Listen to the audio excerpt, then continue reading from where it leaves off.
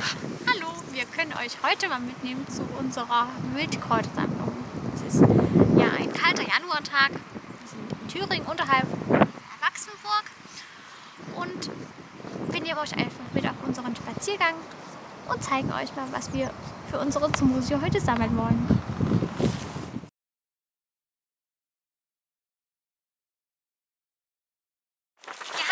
Vielleicht die Taubennessel gefunden, also Schwee. Kannst du wunderbar auch für den Smoothie verwenden, für Salate, brauchst du also nicht dünsten oder irgendwie so einen Quatsch machen. Diese Blüten schmecken süß, kann man ab, abnehmen und auszutschen. Besonders was für die Kinder. Hier kannst du in dein Körbchen legen. Und ist natürlich toll, wenn du irgendwas dekorieren willst auf deinem Salat.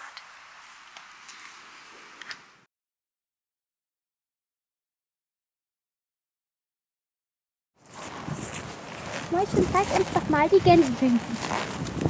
Hast du die Gänseblümchen gefunden? Ja. Kannst du abpflücken. Willst du pflücken?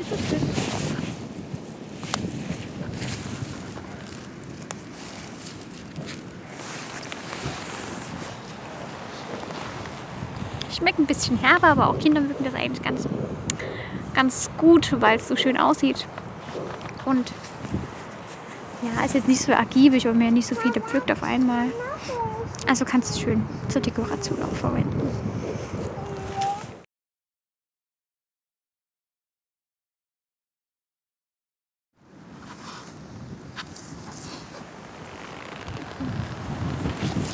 Und auch das hier, wo du wir Wir filmen dann auch mal in dein Körbchen rein. Hier ist die Knoblauchauge. Die guckt also jetzt schon wieder durch die Erde. Wenn du dir bei den Blättern nicht ganz sicher bist, ist es das jetzt oder nicht, kannst du einfach ein bisschen reißen. Ein bisschen in deinem Finger reiben und riechen. Und wenn du denkst, hm, hat irgendwie was sehr nach diesem markanten Küchengewürz, Knoblauch, dann wirst du schnell herausfinden, dass das eben das, die Knoblauchauke ist. Kannst auch kosten. Ist jetzt vielleicht für den Smoothie nicht in großer Menge geeignet hier. Du kannst dich mal reinstecken. Aber sehr delikat für den Salat. Mimi du auch noch mal rein. Ja, hier ist unsere Mimi. Die kommt immer mit spazieren.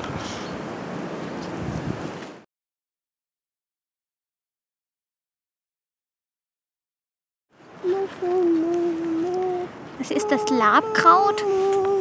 Breitet sich als Unkraut wunderschön in Gärten aus.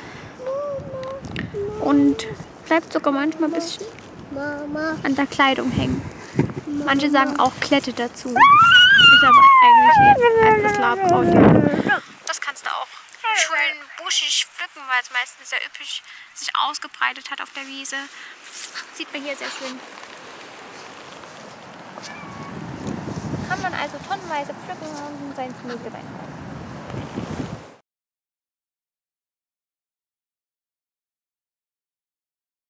Ich habe jetzt hier mal so eine alte Brennnessel gepflückt.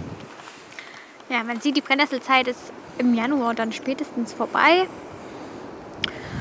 Aber wenn du jetzt wirklich ein, ein Eisen, deinen Eisenspeichertrink wieder auffrischen musst, kannst du dir natürlich die kleinen grünen Blättlein noch abzupfen, wenn du noch nicht so geschickt bist mit deinen Händen, dass sie dich nicht nesselt. Äh, ziehst du natürlich Handschuhe an. Aber dann spätestens mit den ersten Frühlingsstrahlen werden die kleinen Brennnesseln wieder rauskommen und sich herausstrecken, weil ja die Brennnesseln wunderbare Samen im Herbst abgeworfen haben, die du genauso verwenden könntest. Salat streuen. Sehr eiweißhaltig. Oh, jetzt habe ich mich gebrannt.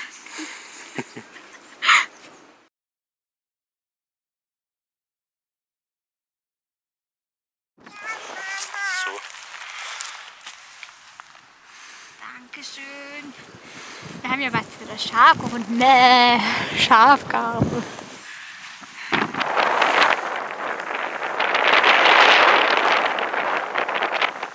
Damit braucht man es natürlich nicht zu übertreiben, wenn man stillt.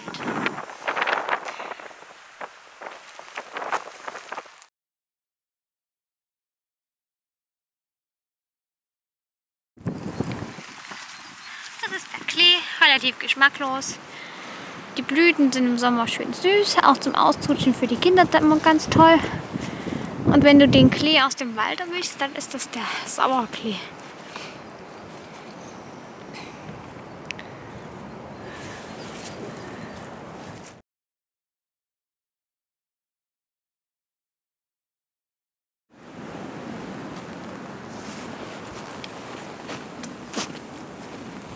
Brombeeren. Und die findest du auch im Winter, wenn dicker Schnee liegt und du das ein bisschen frei machst. Die Jungblätter sind nicht ganz so herb. Hinten dran hast du die kleinen Stacheln.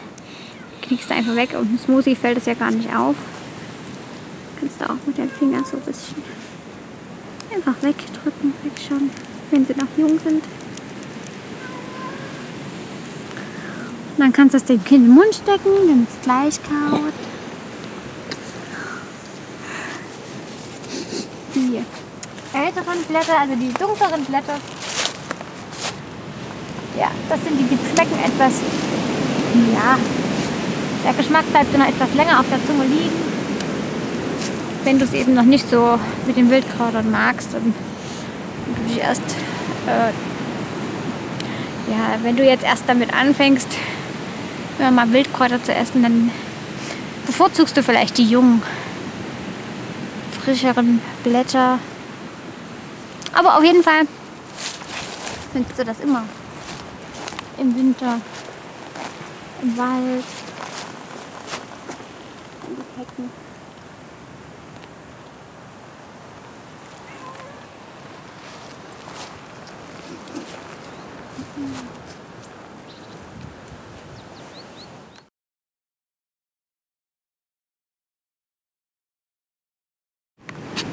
Hier ist ja mein Lieblingswildkraut, der Löwenzahn, den meistens alle anderen wegen dem Bitterstoff nicht so sehr mögen. Daneben ist der Efeu. Den kannst du natürlich nicht essen, aber kannst andere Sachen draus machen. Spülmittel zum Beispiel. Einpacken.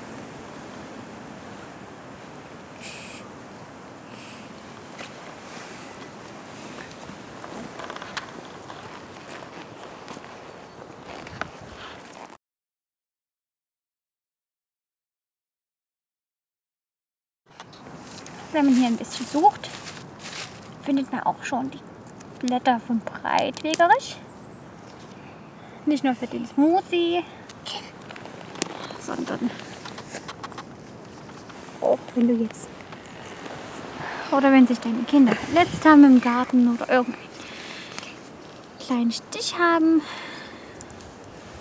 kannst du zusammenkneten und es dann hier treiben oder auch mit Spucke vermischen, zusammenkatschen und auf die Wunde legen. Ja, macht sich auch gut in jedem Smoothie natürlich. Gibt es auch noch den länglichen, den Spitzwegerich. Mit der ähnlichen Wirkung. Und hier können wir nochmal sehen. Nee, das ist nicht die Brennnessel. Das ist Ehrenpreis. Die Ehrenpreis. Der riecht auch richtig schön nach würzigen Kräutern.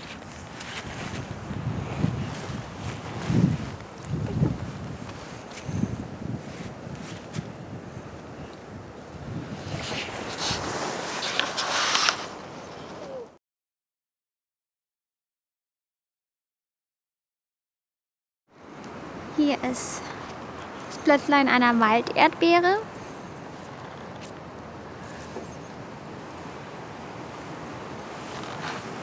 Jetzt natürlich leider ohne kleine Beeren dran. Aber kannst du entweder auch für deinen Kräutersalat, für deinen Smoothie verwenden, für alles, was eben grün sein soll. Oder du kannst es auch in den Tee mit reinmachen. Aromatisieren.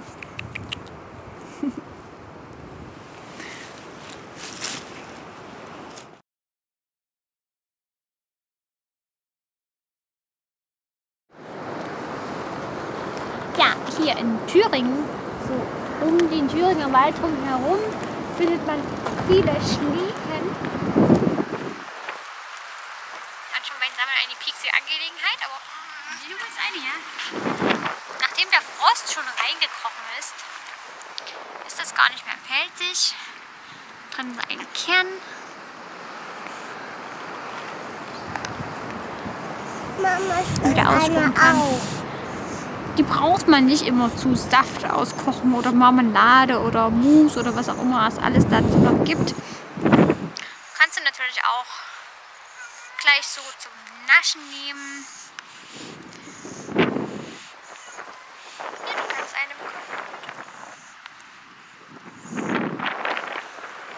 Oder magst du Vogelarbeit, kannst du natürlich auch ohne Kern dann in den Smoothie reingeben. Jedenfalls auch eine gesunde, frische Nascherei.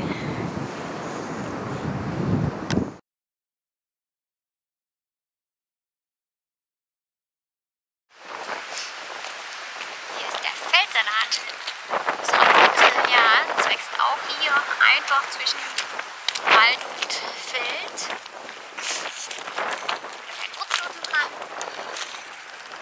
Also du geduldig genug sammelt, kann sie das sogar noch dein Rapunzelsalat machen. Daneben sieht man eben die Vogelmiere. Auch, ja, Hühnerscherbe in manchen Regionen genannt.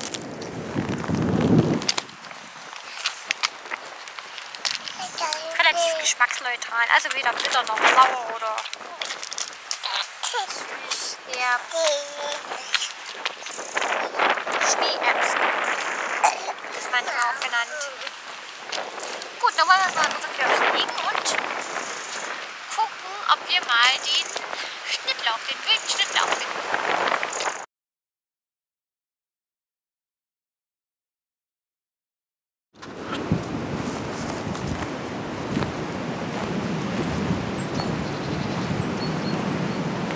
Bei unserer Mimi habe ich ihn schon entdeckt. Die steht gerade jetzt vor. Der wilde Schnittlauch.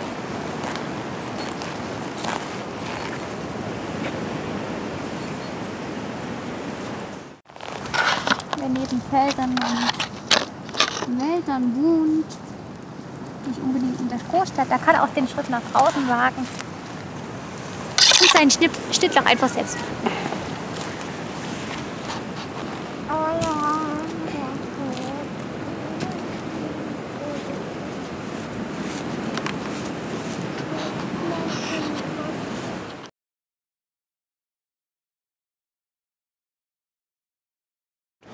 So gut wie hier die Schlehen wachsen, wächst auch der Weißdorn. Ja, in manchen Regionen werden die Mehlfesseln genannt. Schmecken also wohlig-mehlig. Ja, die kleinen roten Beeren, die die Kinder so gerne naschen, kann natürlich auch die Oma naschen oder der Opa, wenn es Probleme mit dem Herzen gibt. Und zum Schluss unserer kleinen Kräuterführung können wir euch noch unser Büchlein zeigen, was wir gerne mal mitnehmen und irgendwas nachgeschlagen. Essbare Wildkräuter oder Wildbeeren